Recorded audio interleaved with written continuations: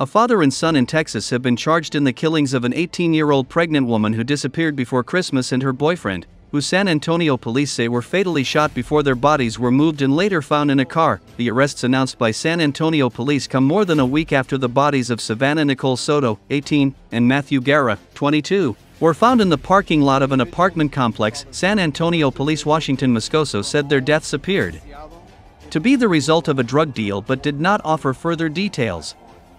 Investigators now believe the couple were killed on December 21, Moscoso said. Police said Christopher Preciado, 19, is charged with capital murder and his father, Ramon Preciado, 53, was charged with abuse of corpse for allegedly helping his son move the couple's bodies.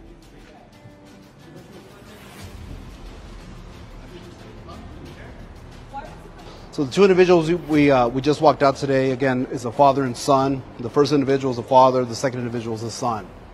Uh, they're going to be charged. The, the father's uh, I'm sorry. The son's going to be charged this this, afternoon, this evening with capital murder, and the father's going to be charged with abuse of a corpse. So we do expect uh, more charges to be uh, to be pending.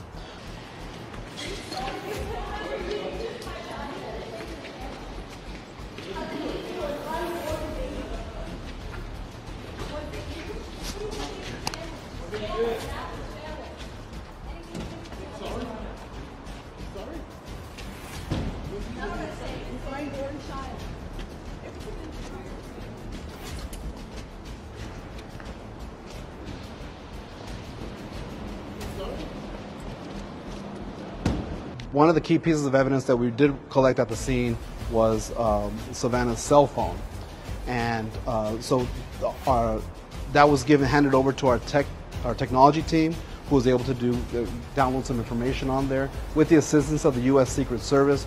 We were able to get enough information, um, and so that that information was given to our detectives today.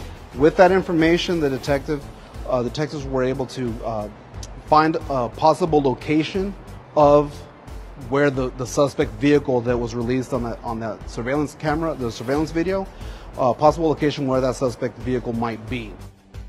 The first individual, uh, the father, answered the door. He knew why the police were there. Um, was was cooperated fully with the investigation. We're right here to headquarters, and our detectives were able to start interviewing both the son and the father. Again, Christopher, uh, we believe, committed the murders of of Matthew and Savannah, and then Ramon uh, helped kind of dump the butt. Um, it, it, appears to be a narcotics, a narcotic related deal that, that went back.